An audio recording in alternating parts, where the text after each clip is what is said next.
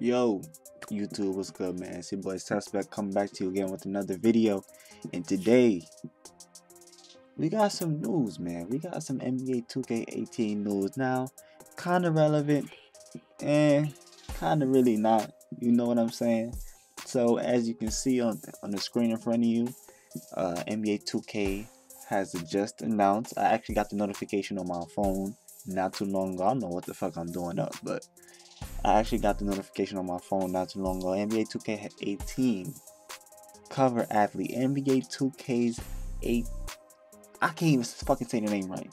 NBA 2K18's cover athlete is officially Kyrie Irving. As you know, we got Shaq on the uh, on the Legend Edition, uh, NBA 2K18. This fucking cover looks horrendous. This shit looks trash. This I don't know if they're going for a throwback theme or whatever.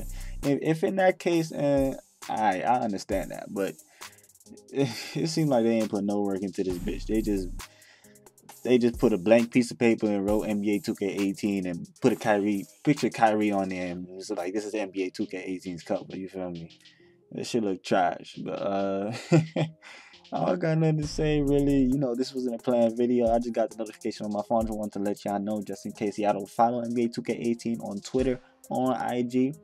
Um, I follow I follow them both on um, both social media. My Twitter is gonna be in the description.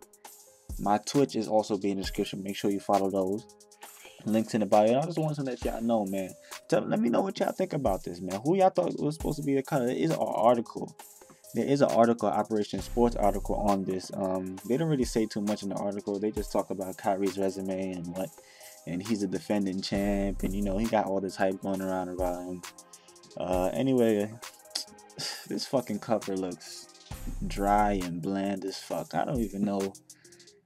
Ah, oh, man. Anyway, I got a video dropping for you guys tomorrow. It was supposed to drop today. It was supposed to drop yesterday. No, I got a video dropping today.